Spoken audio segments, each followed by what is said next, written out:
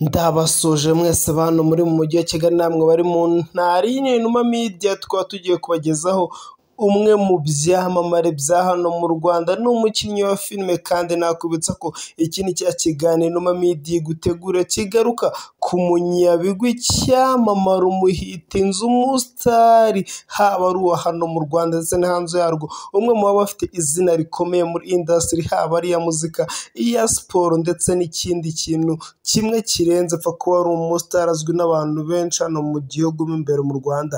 Twebwe turakugendera tukakugerera mu mizi tukakumanukurira bimwe mu bintu by'umwihariko haba ari ibigwi byo yakoze haba ari buri kimwe afite gitandukanye n'iby'abandi bantu we tukakigusangiza kugira ngo nawe ubashe kumumenya. Hariho abo yafasha akaba yababera urumodo. Nakubwira ko uyu munsi Inuma Media yaguteguriye bimwe mu bintu by'uburanga budasanzwe by'umukobwa w'umuhitinzi hano mu Rwanda bamwita Isimbi Alliance. Twamumenye cyane nka Aria Kuru umwe mu bakinnyi b'amafilime bagezweho hano mu Rwanda kandi bakunzwe n'abantu benshi dore ko amafilime arimo arakina arimo amafilime arimo arakurura abantu benshi ugasanga bashamadukiye kuyareba ku rwego rwo hejuru. Ubu nakubwira ko Aria Kuru ni umwe mu bakobwa ba mbere bakina filime ni nawe munyarwandakazi akaba n'umunyarwanda wa mbere ukina filime ugasanga ziri guca kuri Netflix. Urubuga mpuzamahanga rucuruza amafilime ku rwego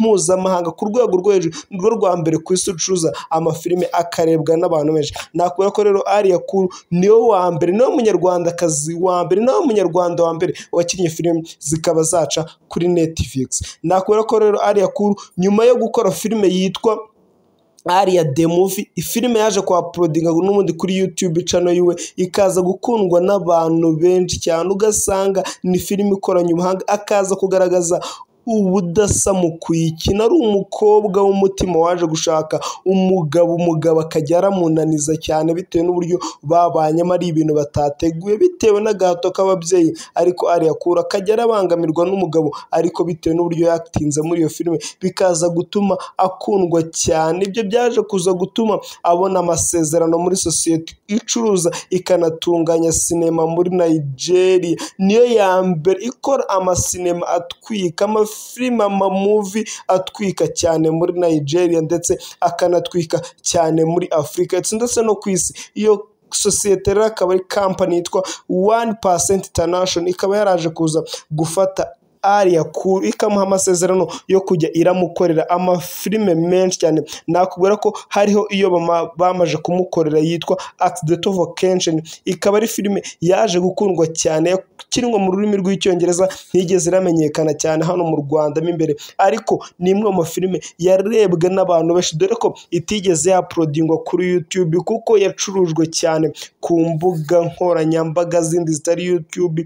Ariko yanabanje kwerekanwa mu masare yerekana filime muri Nigeria. Hano mu Rwanda muzi ko amasare yerekana filime ari na yo. Mbehe muri make mu Rwanda kuyireba bisaba kugira ngo ujye kureba kuri Netflix. Iyo filime yitwa Accidental Vacation nakubwira ko rero Aria Kuru iyi filime yaje kuza guhuriramo n'ibyamamare bikomeye cyane muri sinema ya Nigeria. Bimwe bitwika ku rwego rwo hejuru bizwi ku mugabane wa Afurika ndetse no hanze yako. Nakuvuga ko muri ibyo byamamare harimo nk'uwo bita Anita Arere Afoke Asuha.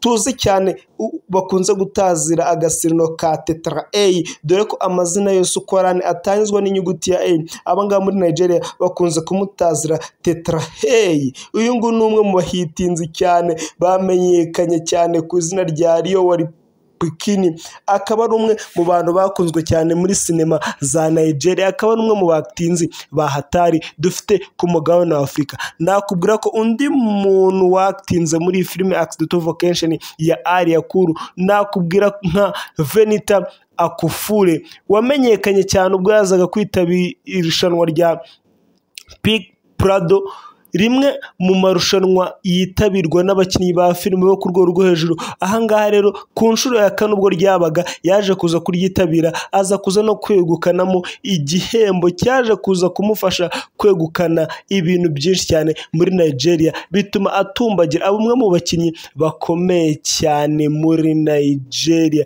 Nakubwira ko ikindi cyamamare ni we mukinnyi wa mbere navuga hano ahangaha muri Afurika ndetse no hanze yayo uzi gukina amafilime ugiye kugaragaza umukinnyi wa filime wa mbere muri Afurika nyuma ya Lupita w'umunyakenya nakubwira ko uyu munyanigeria bita Richard Mofe Damico ari umwe mu bakinnyi bafite ubuhanga budasanzwe. Dore ko muri sinema ya Nigeria ni umwe mu bantu babimazemo igihe kinini dore ko afite imyaka mirongo itandatu irenga kandi akaba yaratangiye gukina amafilime ari mu myaka ya za makumyabiri. Rero nakuvuga ko amaze imyaka irenga mirongo ine muri sinema ya Nigeria ubu ngubu akaba afite agatubutse yakuye muri sinema za Nigeria. Dore ko ni umwe mu bantu bakunzwe cyane muri Nigeria. Nakuvuga ko ni nka Seburikoko cyangwa se Papa Sava cyangwa se Niyitegeka Graciane wo mu Rwanda. Dore ko ni umwe mu bantu bakinnye amafilime menshi kandi yose agakundwa nakuvuga ko nka filime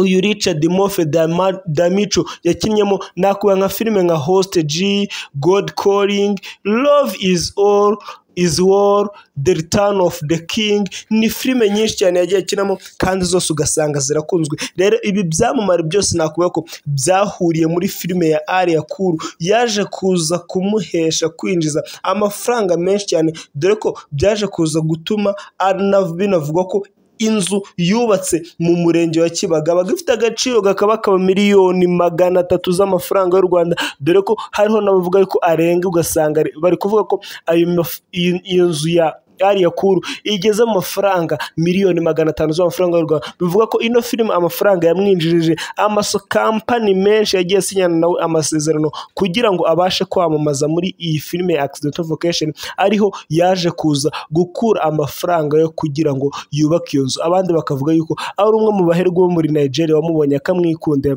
agahitamo kuyimwubakira hano mu Rwanda. Bikavuga ko uwo muherwe yaba yaranamuteye inda bakaba baribarukanye umwana nubwo ayo makuru yo Aria Kuru atari yayaduhamiriza atari yayahamiriza itangazamakuru. Ni ibivugwa kuri iyi mihanda ya hano Nyarugenge ariko nakubwira ko Aria Kuru ni umwe mu bakinnyi bakina filime hano mu Rwanda bagezweho kandi bakunzwe n'imbaga nyamwinshi. Nubwo atari yabasha kugaragara muri filime nyinshi zikunzwe hano mu Rwanda dusanzwe tumenyereye nka za Citimed umuturanyi bamenya ndetse n'izindi nyinshi nk'izo ngizo ariko nakubwira ko ni umwe mu bantu binjije agatubutse bagakuye muri sinema kandi barabigaragaza bakuramo igikorwa cya hatari kandi ni umwe mu bakinnyi ba filime bafite ubwiza buhebuje n'uburanga ntayigayizwa. Nakubwira ko iyi ngiyi ari inuma midi ushobora gukanda subscribe hano ku numa midi ubundi ukajya urushaho gukurikirana ibiganiro byacu umunsi ku wundi. Uko bwije n'uko bukeye tukicyaporodinga